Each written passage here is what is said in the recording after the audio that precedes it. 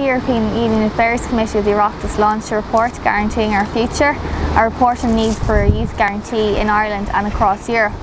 Some of the main findings include the need for properly, properly and adequately funded youth guarantee. Um, 8 billion euro has been earmarked, but we believe this falls short, falls short of what is actually needed to address the issue in Ireland and across the EU. Currently we've one in three young people unemployed in Ireland and this doesn't deal with the, the large number of young people who are currently disengaged with the public employment services and the system. We also call for the government to look at international best practice and look at the schemes as how they've been implemented in other EU member states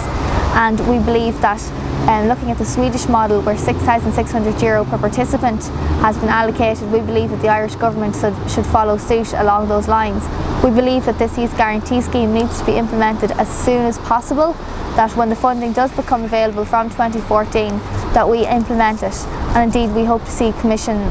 plans as soon as possible for that. We also believe, and this is a very um, strong recommendation coming forward from our committee consultations, um, both in committee and externally, is that youth organisations need to play a very important role in the ongoing um, evaluation and monitoring of the guarantee to make sure that it does target those young people um, with low skills who are long-term unemployed and those who are disengaged with the services. Um, I'm very heartened that there has been cross-party support for this report and we do hope that the, both the Department of Social Protection and that on jobs take these recommendations on board and we do hope to see a dedicated section in the, uh, the next government action plan on jobs on this issue.